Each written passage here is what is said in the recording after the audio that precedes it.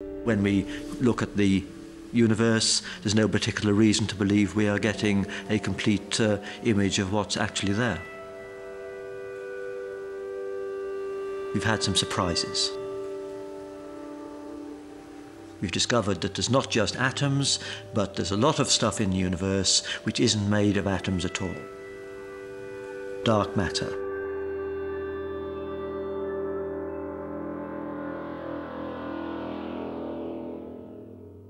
The first evidence for dark matter, in fact, goes back to the 1930s, long before I was born. Galaxies rotate, and at their outer edges, the stars are travelling at phenomenal speeds. The only force holding those outer stars to the rest of the galaxy is the combined gravitational pull of all the atoms in the stars at its centre. But when astronomers calculated the amount of gravity required to prevent those stars from flying off into space, they discovered that there simply wasn't enough matter in the galaxy to hold the outer stars in place. Something was very wrong. By measuring, for example, the speed with which stars go round and round the centers of galaxies, like our own Milky Way, the stars go run too fast. And unless there is some gravitational confining force, some sort of uh, invisible glue keeping the stars together, the galaxies would have just dissolved.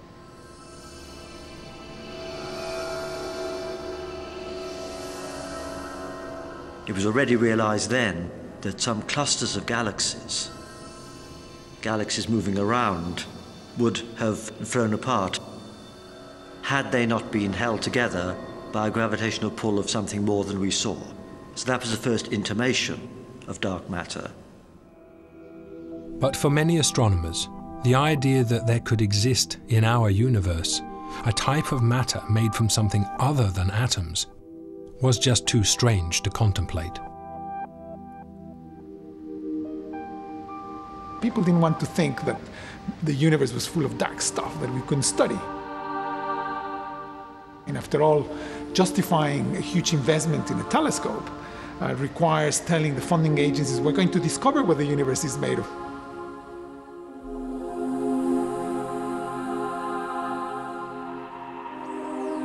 People were telling you, look, your telescopes only see a little bit of what is there are not necessarily popular.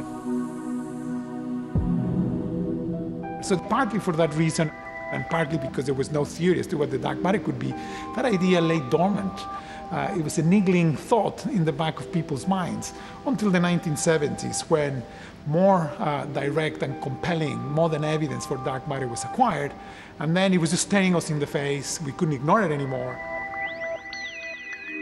And when they calculated the amount of dark matter in the universe, astronomers were even more surprised. This mysterious material made up the majority of the universe, nearly 85% of it. The realization that most of the mass in the universe is dark matter has come as a big shock to the community. And we have no idea what it is. Unlike ordinary matter that we understand and we know and love, we know how, how to make it and we know its composition. We know relatively little about dark matter.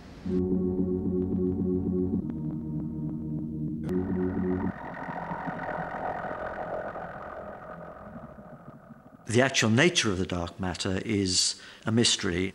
There are lots of candidates which could exist in the early universe, in the Big Bang, in the first microsecond. And if they are still around now, they would be candidates for the dark matter. It's sort of a wacky idea. It sounds sort of frivolous to invent something which you can't see, can't touch, to say that it nonetheless exists. So far, we only know that they exist because of the gravitational pull. A very uh, interesting question to me is, is the universe more complicated than it needs to be to have us here? In other words, is there anything in the universe which is just here to amuse physicists? It's happened again and again that there was something which seemed like it was just a frivolity like that. Where later we've realized that, in fact, no, if it weren't for that little thing, we wouldn't be here. I'm not convinced, actually, that we have anything in this universe which is completely unnecessary to life. Whereas dark matter shocked scientists by revealing that most of the substance of the universe was invisible, now they had discovered that empty space possessed an inexplicable energy. If you imagine taking a volume of space, removing from it all the atoms, all the energy, all the magnetic and electric forces, etc., you might think you end up with zero. But it looks as though you don't end up with something which is exactly zero. There is still something there. That something exerts a force which seems to be the opposite of the force exerted by normal gravity. It's a force which seems to cause things to disappear away from each other rather than be attracted towards each other. Why empty space itself should be more than just nothingness and have these complicated properties is indeed a very deep mystery. They named the source of this mysterious expansion dark energy. It sounds like you know what it is if you call it, if you give it a name, if you call it dark energy. But in fact, if you talk to almost any scientist today, um, they would say they've got no idea what dark energy is. Cosmologists are also unsure of the role dark energy will play in the future of the universe.